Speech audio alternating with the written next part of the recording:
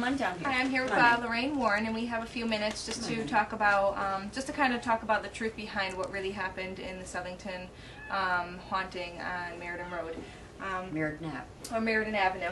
Um, now, what, on your perspective, I know the the movie was loosely based on it. Very. Um, what happened inside of that house um, that you can recall? Okay. Um, let me say this. We we um we entered the home the morning after we were contacted by Carmen Snedeker and her niece who was living with the family at that time. And um, we didn't know too much about it other than the fact that, you know, when she called, she was hysterical on the telephone. When we got there, Ed went right downstairs into the basement area. And I talked to her and her niece for a while.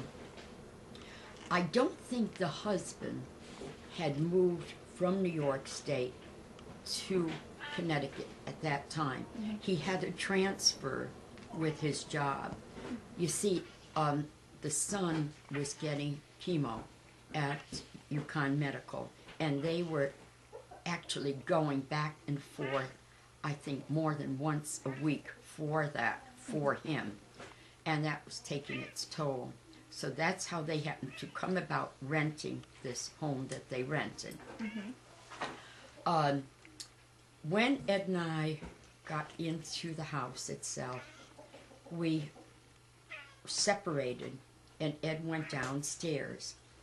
After a little while, I went downstairs, and as soon as I walked into the first room, um, it was just an overwhelming bad feeling. I, I, I had a feeling of fear and like that, that I probably was picking up from the boy who had experienced what he had in that room, which was his bedroom. I didn't know that that room was a coffin room, where the coffins were kept, where they would pick out the, for the um, the, the families would pick out the coffin, and um, then I started to walk down the hallway. I'm not seeing Ed, and I knew he hadn't passed me, so I couldn't quite understand where he went. Now, as I walked down the hall, there was little ante-rooms, kind of, that went off, where there were things, different things stored. I got down to the end of the hallway, and I looked to my left, and I could see the area where they brought the, the bodies in, mm-hmm. and it was the double doors on that side of the driveway. Then there was two prep rooms, and one of them was a bloodletting area, and the other was where they would bring the bodies up for viewing. And I thought, oh my God, why would these trappings still be here for a family coming here with a young family? And it was kind of uncomfortable, but I thought, well, they're not buying the house, you know, they're just really renting here. And so I didn't say anything about that. I didn't address that part of the issue. Mm-hmm. But while I was in this area where they prepped the bodies, I had horrible bad feelings. And why should I have such horrible bad feelings when it's it was people who had passed and it was people who were being prepared for burial. And but a far a far more had exactly I believe had gone on in that area that the family was not aware of. For one thing, Carmen was not aware that she actually rented a funeral home. She was not aware of that when she did that. So then we went upstairs and she began talking, and the niece began talking about the frightening things that were happening in the home. The one frightening thing that was happening in the home is that where the niece slept, which mm-hmm. was on that main floor of the Yeah. house in a small bedroom. The covers on her bed would levitate off her. They would levitate right off her. And then you would see something under the covers besides her. And that really, you know, that would terrify this niece that was sleeping, that was living there with them. So this went on for a period of time.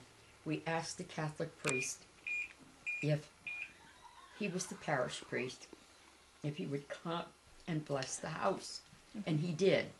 He did come to bless the house, but it needed far more than a blessing of the house mm-hmm. Because it just seemed to antagonize what was there. You could stay like the whole night, as we would do, in the home itself. When we were there, we would stay in the master bedroom. Not that we were sleeping, mm-hmm. but we were there. And you would hear that chain hoist coming up by mm-hmm. itself. So Ed went down there to see if there was anybody doing that. Excuse me, moving that chain, chain hoist like that. Mm-hmm. There was no one. There was no one down there at all. He could actually see that actually happening at that time. Then there was these two people of science, and they asked Ed if it would be possible for them to go into the house Mm-hmm. and spend the night with us there in the home and see exactly what they, as people of science, would be able to pick up. They fled in the middle of the night. Hmm. Did they say ever say what they seen or? They never, they never ever contacted us again. They left in the middle of the night. They actually moved from the school that they were teaching in in Connecticut. They moved to some place we were told in New York State Oh wow. to teach. So they were frightened. They were intimidated by what was there.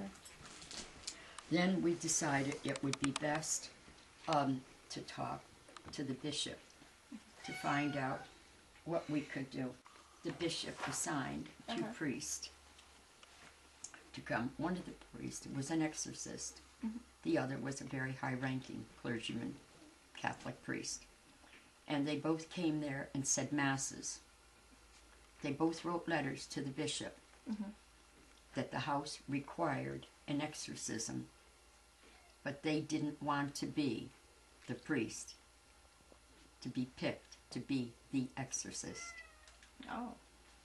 And so the bishop assigned another priest mm-hmm. as an exorcist, and the house was successfully exorcised.